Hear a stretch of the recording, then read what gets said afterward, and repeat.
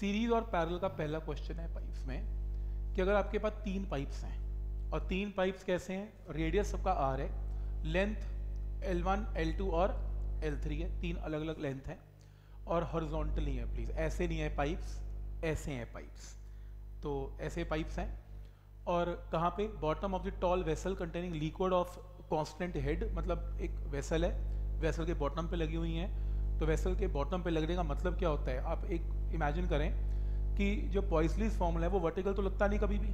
वो किसमें लगता है? वो हॉर्जोंटल लगता है। तो इसके अंदर बड़ा इंपॉर्टेंट कॉन्सेप्ट है और बहुत बार यूज़ भी होता है तो एक बार इसको क्लियर कर देता हूँ मैं कि सपोज़ करो, जैसे ये मान लो एक वेसल है, ठीक है? एक वेसल है और वेसल के बिल्कुल बॉटम पे मैंने एक ओपनिंग छोड़ दी कुछ ऐसे, ताकि पानी यहाँ से निकल जाए। तो इमेजिन करें कि ये लिक्विड है, ये लिक्विड है लिक्विड यहाँ से बाहर निकलेगा। तो मैं, मेरा क्वेश्चन है कि अगर ये हाइट लिक्विड की यहाँ पर एच है एच है। अगर ये हाइट एच है तो आप मुझे ये बताएँ कि यहाँ पे इस ट्यूब में मैं पॉइसली फॉर्मूला लगा सकता हूँ, क्योंकि ये ट्यूब हॉरिजॉन्टल है तो पॉइसली फॉर्मूला एप्लीकेबल है। तो इस पॉइसली फॉर्मूला अगर यहाँ लगेगा तो आप मुझे ये बताएँ, इसमें डेल्टा पी की वैल्यू क्या होगी, ये क्वेश्चन है। आंसर क्या होगा इसमें? प्रेशर डिफरेंस पूछ रहा हूँ। कितना हुआ फिर? एचरोजी होगा। हॉरिजॉन्टल भी एचरोजी होगा। वर्टिकल भी एचरोजी होगा। क्योंकि एचरोजी तो वर्टिकल लगता है हमेशा। हॉरिजॉन्टल में लगता कहाँ है? एचरोजी में जी आ रहा है ना तो जी तो वाई एक्सिस में लग सकता है। हॉरिजॉन्टल में लग ही नहीं सकता। तो कितने लोग बोलते हैं कि अभी भी आंसर एचरोजी होगा? पॉइंट है। होगा? क्यों? प्रूव कर सकते हो?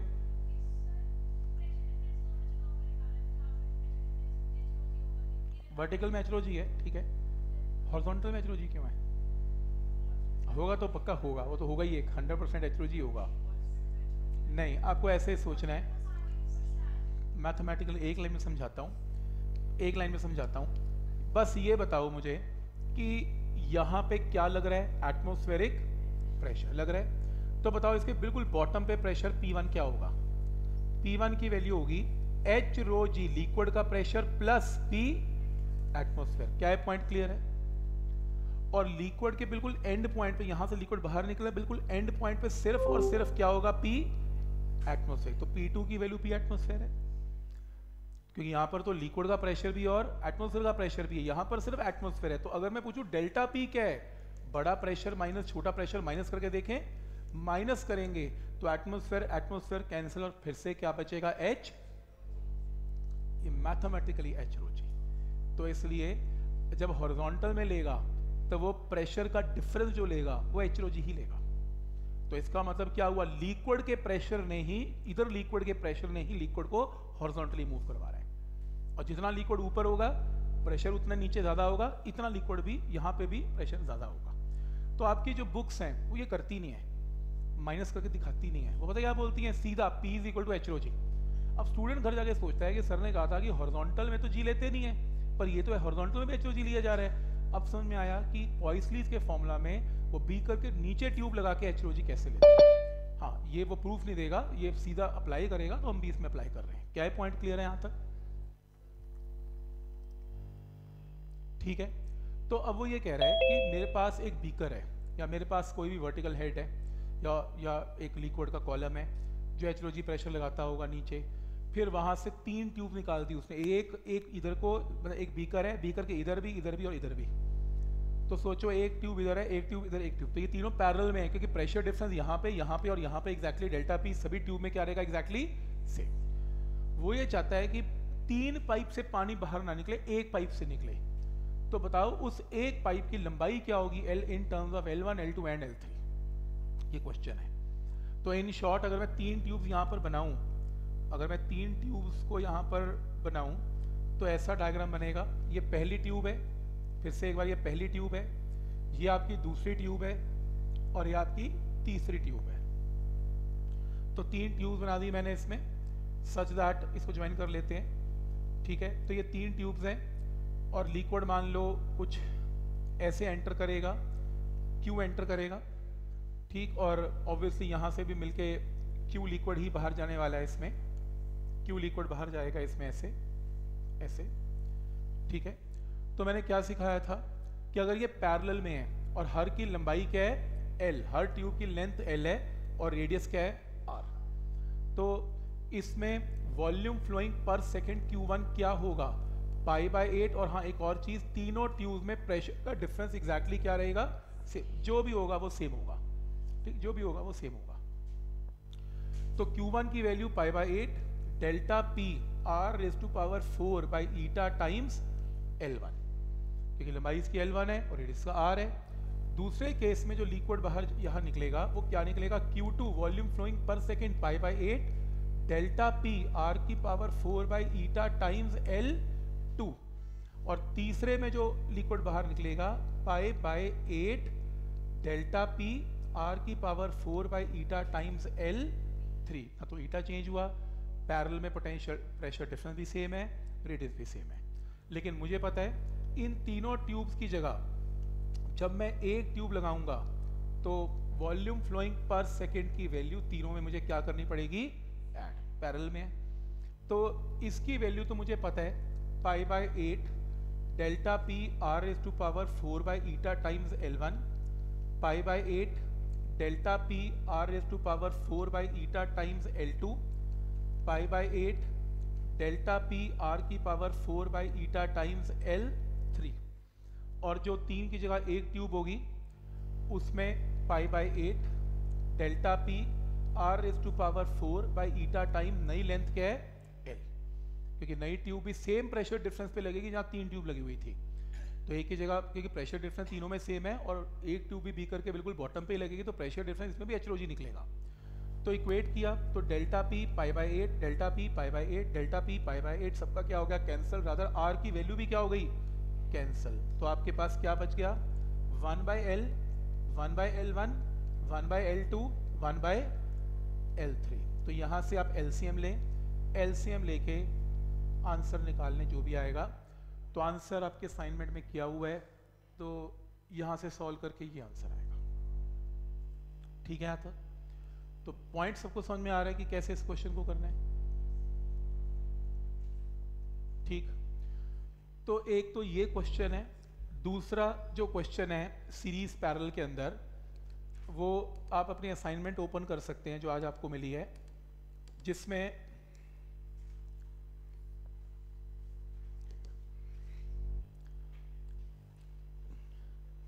ये क्वेश्चन आपको, ये ये शीट आपको मिली होगी, जो न्यूमेरिकल सब्जेक्टिव शीट है, उसके एंड में प्रिंट आउट लगा हुआ है हैंड रिटन का, जिसके अंदर इलेक्ट्रिसिटी का कॉन्सेप्ट डिस्कस्ड है, जो मैंने आज आपको लिखवा दिया। अगर पाइप सीरीज़ में है पैरल में है तो क्या करना है? मैंने लिक्विड की रेजिस्टेंस लिखवा दिया आपको फॉर्मूला बुकलेट में सेम है। पाइप सीरीज़ में बता दिया कि volume flowing per second same है। पैरल में बता दिया volume flowing per second add होगा। इसके बेस पे ये क्वेश्चन को आपने करना है अभी सीरीज़ पैरल में। ट्राई करें।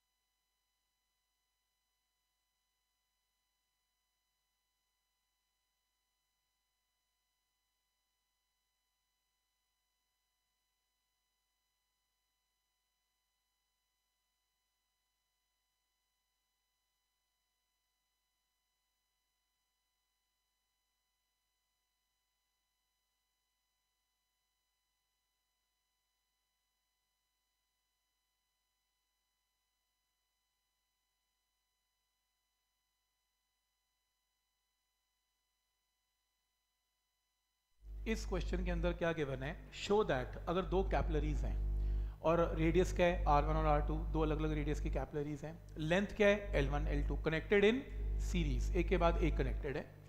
Across pressure head of P pressure head का मतलब प्रेशर डिफरेंस तो कोनों का प्रेशर क्या है? P one minus P two P है। तो दो ट्यूब्स इस प्रेशर हेड पे कनेक्टेड है। तो the rate of flow of liquid is given by this formula rate of flow of liquid का मतलब क्या होता है? वॉल्यूम फ्लोइंग पर सेकेंड तो क्वेश्चन में कुछ ऐसा गिवन है कि आपके पास प्रेशर हेड पी गिवन है। प्रेशर हेड का मतलब ये जो कॉर्नर्स हैं, ये वाला और ये वाला। इन दो कॉर्नर्स का टोटल प्रेशर डिफरेंस कितना गिवन है?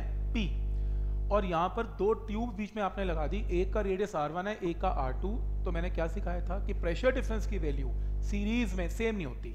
तो प्रेशर डिफरेंस इस पाइप में क्या होगी? पी वन और प्रेशर डिफरेंस इस पाइप में क्या है? पी टू तो P one and P two clear है। Such that P will be equal to P one plus P two क्या स्टेप क्लियर है? लेकिन वॉल्यूम फ्लोइंग पर सेकेंड इनमें क्या रहेगा? सेम तो अगर हम फ़र्स्ट पाइप की बात करें, पहली पाइप में वॉल्यूम फ्लोइंग पर सेकंड का फॉर्मूला लगाते हैं पॉइस पीस का। Pi by eight P one P one का मतलब प्रेशर डिफरेंस है। R one raise to power four by eta L one cross multiply करो। क्रॉस मल्टीप्लाई करके पी वन को एक तरफ़ रखो, बाकी टर्म एक तरफ़ रखो तो यहाँ पर पाई आएगा। एट बाई पाई करेक्शन करो। करेक्शन करो। तो यहाँ से पी वन की वैल्यू आएगी।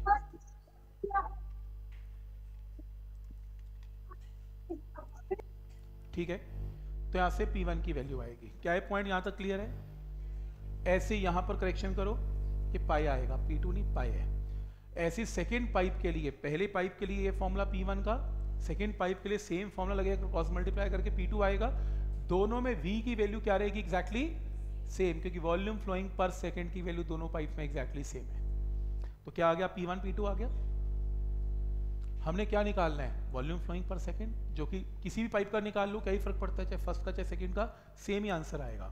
तो मैंने क्या किया? P की वैल्यू क्या है? P1 प्लस P2 तो P1 मैंने निकाला हुआ है, ऊपर पुट कर दिया। P2 निकाल रखा है पुट कर दिया। और टोटल प्रेशर डिफरेंस क्या है? P, उसको ऐसे ही रखा। यहाँ से क्या निकालना है? V तो यहाँ से कॉमन निकाल लो। एट ईटा, वी, पाए सब कॉमन है। क्या निकालना है? वी निकालना है तो वी एक तरफ़, बाकी टर्म्स एक तरफ़ तो यही प्रूव करना है this is volume flowing per second इसका प्रूफ आ जाएगा। मेथड समझ में आ रहा है सीरीज़ के क्वेश्चन के अंदर एक ही लॉजिक है कि volume flowing per second same रहेगा, और टोटल प्रेशर क्या बन जाएगा? P one plus P two ठीक है? इसके बेस पे पाइप्स का जो सेकंड इंपॉर्टेंट क्वेश्चन है, वो ये दो क्वेश्चन टिपिकल है, एक जो पहले किया, ये किया, और ये किया। दो तीन क्वेश्चन दिए इसके। बाकी नॉर्मल है सारे। इसको देखें।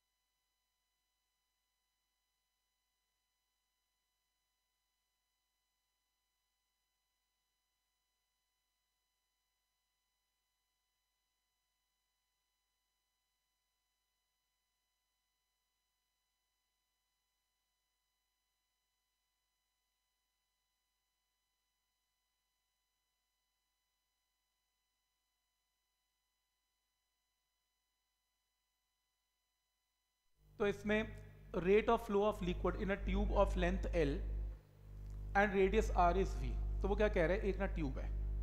एक ट्यूब है, जिसका प्रेशर डिफरेंस पी है लेंथ एल है और volume flowing per second V है रेडियस आर है।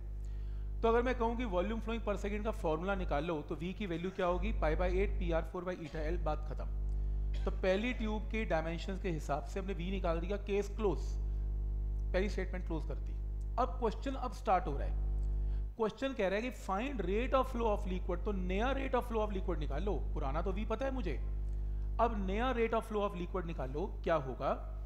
अगर मैं इसी प्रेशर डिफरेंस में, जहाँ पर एक ट्यूब लगाई थी, वहाँ पर मैं दो ट्यूब लगाना चाहता हूँ, एक का रेडियस आर है और एक का आर बाई टू है कनेक्टेड इन सीरीज़ तो सीरीज़ के अंदर वॉल्यूम फ्लोइंग पर सेकेंड क्या होगा? नया। इसमें तो मुझे पता है कि वी है। तो नया वॉल्यूम फ्लोइंग पर सेकेंड क्या होगा? अगर मैं दो पाइप किसमें लगा दूँ? In series under same pressure head of P ये क्वेश्चन है। हाँ मुझे एक चीज़ पता है कि जो वॉल्यूम फ्लोइंग पर सेकेंड मुझे निकालना है, वो ना वी की फॉर्म में निकालना है। आप सोच रहे होंगे, फिर ये पाइप क्यों दी है? जब उसने नया ही पूछना था तो ये क्यों दे रहा है? आपको अपना आंसर वी की फॉर्म में देना है। ठीक है? तो इसको तो संभाल के रख लो रिज़ल्ट को, इसको बाद में यूज़ करेंगे। आप बस ये बताओ कि अगर सेम प्रेशर डिफरेंस में दो पाइप्स लगे एक ये पाइप और एक ये पाइप आर और आर बाई टू रेडियस में तो नया वॉल्यूम फ्लोइंग पर सेकेंड जो भी होगा, दोनों पाइप में एग्जैक्टली क्या होगा? सेम होगा। क्योंकि पाइप्स किसमें कनेक्टेड है? सीरीज़ में। तो सीरीज़ के अंदर वॉल्यूम फ्लोइंग पर सेकेंड दोनों में एग्जैक्टली सेम है। तो अगर टोटल प्रेशर डिफरेंस पी है तो पहली पाइप में पी वन है और दूसरी पाइप में पी टू है। क्या ये पॉइंट क्लियर है यहाँ तक? तो वॉल्यूम फ्लोइंग पर सेकेंड नया क्या होगा? पहली पाइप में pi by eight P one R four by eta L दूसरी पाइप में pi by eight P two R by two raise to power four by eta L क्या step clear है? इन्हें सब कैंसिल करके आर स्क्वायर बाई सिक्सटीन करके P one P two में relation आ गया। ये पी टू पी वन में रिलेशन आ गया। और टोटल प्रेशर पी हमें गिवन है, जो कि P one plus P two के इक्वल है। पी टू की जगह सिक्सटीन पी वन पुट करके P one in terms of P निकाल लिया। पी वन और पी का रिलेशन आ गया। मेरे को लेकिन क्या निकालना है? मुझे नया वॉल्यूम फ्लोइंग पर सेकेंड निकालना है। तो इन ट्यूब्स में किसी भी एक ट्यूब में वॉल्यूम फ्लोइंग पर सेकेंड निकाल लो। जैसे पहली ट्यूब में वॉल्यूम फ्लोइंग पर सेकेंड का formula pi by eight P one R four raise to power eta L P1 की value in terms of P यहाँ से निकाल के यहाँ पे पुट कर दो P by seventeen. One by seventeen बाहर आ गया, ये टर्म बच गई। अब ये टर्म हमें ऑलरेडी पता है किसके इक्वल है? V तो यहाँ पर पुट कर देंगे V तो आंसर V बाय सेवनटीन आ जाएगा। तो मैं फिर से रिपीट करता हूँ। पहले आपको अलग ट्यूब गिवन है। इस ट्यूब का volume flowing per second V हमें गिवन है, बात खत्म। संभाल के रखो। फिर वो कहते हैं कि इसी प्रेशर डिफरेंस में दो ट्यूब लगाओ और नया वॉल्यूम फ्लोइंग पर सेकंड निकालो। तो पहली ट्यूब में वॉल्यूम फ्लोइंग पर सेकंड दूसरी ट्यूब में वॉल्यूम फ्लोइंग पर सेकंड को इक्वेट करके प्रेशर का रेशियो आ गया। P P one plus P two है। वैल्यू पुट करके क्या आ गया? P one in terms of P आ गया। तो पी वन की value in terms of P आ गई। तो वॉल्यूम फ्लोइंग पर सेकंड पहली पाइप का लिखा और पी वन को पी की टर्म में लिखा। वन बाय सेवनटीन बाहर निकाल के इसको वी लिख लिया आंसर वी बाय सेवनटीन आ गया। अब वो कहता है सेम क्वेश्चन करो, लेकिन इस बार दो पाइप्स किसमें कनेक्टेड हो? पैरेलल में। अब सेम चीज़ पैरेलल के अंदर क्या प्रॉब्लम है कि डेल्टा पी तो सेम होगा पी एंड पी तो सेम होगा प्रेशर डिफरेंस लेकिन वॉल्यूम फ्लोइंग पर सेकंड दोनों में डिफरेंट होगा। तो पहली पाइप में वॉल्यूम फ्लोइंग पर सेकंड ये रहा और दूसरी में यह और total volume flowing per second क्या होगा? पैरेलल में वी वन प्लस वी और हमें भी क्या निकालना है? Total volume flowing per second parallel में क्या होगा? वीपी निकालना है। वी की वैल्यू यहाँ से यहाँ पुट कर दी। वी की वैल्यू यहाँ से यहाँ पुट कर दी। सॉल्व किया। सॉल्व करके 17 बाई सिक्सटीन और ये वैल्यू ऑलरेडी फ़र्स्ट पाइप की निकली हुई है वी तो आंसर आ गया 17 बाई सिक्सटीन टाइम्स वी तो इस तरीके से इस क्वेश्चन को हम सॉल्व कर सकते हैं। तो पॉइंट समझ में आ रहा है, ये सीरीज़ पैरल के बेसिक कॉन्सेप्ट हैं। मतलब नॉर्मल बुक्स में यही क्वेश्चन दिख रहे हैं दो तीन तो मैंने सारे क्वेश्चन की वैरायटी इसमें लिखी हुई है। अब कोई भी सीरीज़ पैरल आएगा, वो इसी के बीच में से कुछ ना कुछ चेंज होकर आएगा। तो समझ में आ रहा है यहाँ तक? ठीक?